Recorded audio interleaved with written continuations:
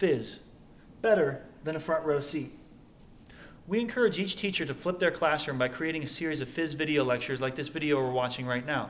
I've got a camera on a tripod, I've got my boards with my information that I can slide.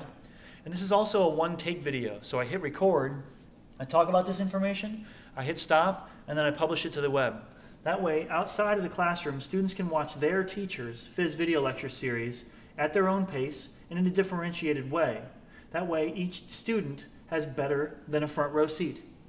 And if students are watching the lecture material outside of the classroom, then we can use all of our class time for collaboration and applying student learning, which is a much more exciting and engaging environment.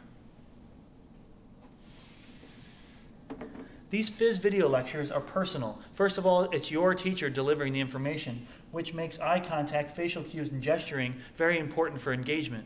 When I turn to the camera, I'm making eye contact with all my students. When I point at information, it's drawing their attention to that information.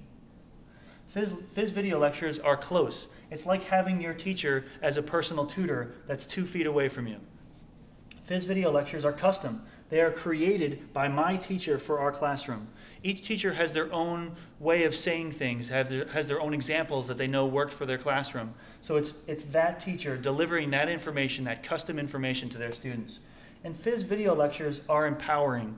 It allows teachers to truly flip their classroom because they know that they have delivered the information in their way to their students in the most engaging way possible. For more information about Fizz and flipping the classroom, visit fi.ncsu.edu slash fizz.